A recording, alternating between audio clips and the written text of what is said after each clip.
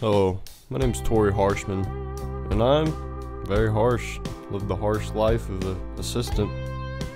So I need to switch out of this gray tide fever and go into something a little more black. I got some tools and acquired some resources from the library so I could craft useful things. I used my newly constructed tool to intimidate some botanists into giving me some weed, which had worked. They were scared for their lives, or just really friendly. They grew a lot of the shit.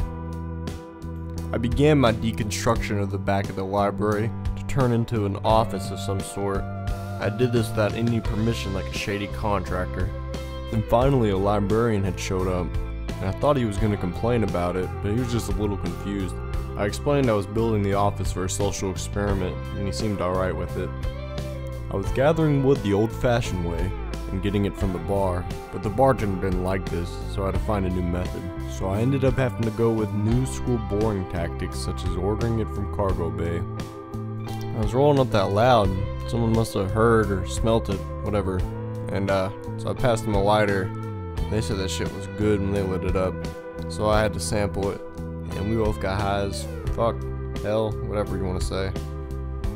I then waited to get my wood like any kid would by shooting Nerf darts with the clown. I got it and was done real quick like a first timer. I built my gated community like the young green haired entrepreneur I was. Oh, yeah, and I could see through walls too. Not because of the weed I was smoking, but because of some goggles I was wearing.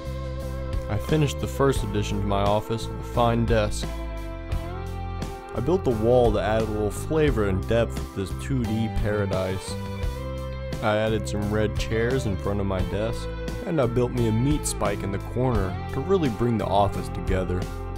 A wheelchair for that sexy paraplegic look, and finally some blue recliners to hold more asses. I was just rolling around the halls high enjoying my new handicap, when some bitch looking like Knuckles if he got electrocuted comes up and steals my wheelchair which the Sonic Fag achieves momentarily. I go easy on the fur human and just lay a few punches into it. Should've used my bat and laid that fucker out. Then the janitor gets in on the stealing my wheelchair fun. The custodian had tied his wrist to the wheelchair and was getting away until a not so shit officer tased him and dropped him out of it. I could just roll real smooth and rest my legs once again.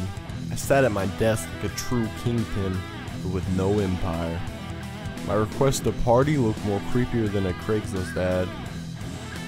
I passed out flyers everywhere I could. Rolling through maintenance, I found an open door. I picked up a hatchet and discovered some locker people.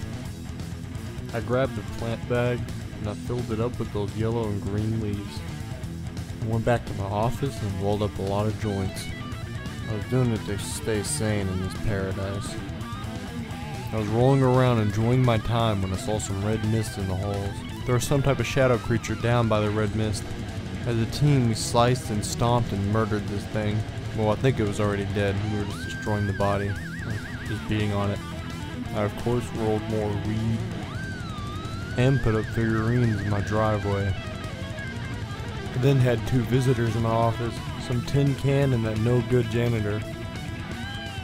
Up to no good, that janitor stole my bat. But didn't really matter, could make many more. I decided to shave my head for a change of pace. I went to the bar and treated it like a Home Depot, got my wood and headed out. I made myself a couple of bats for the extra protection. The hallways were getting pretty gory.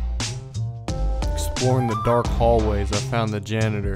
I cracked him over the head with a whiskey bottle and stole the bat back. I was now dual wielding it.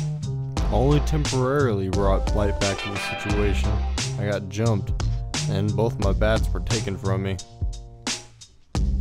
They jacked my damn bats. The doctors could try to fix my bruises and cuts, but they couldn't fix my ego and pride.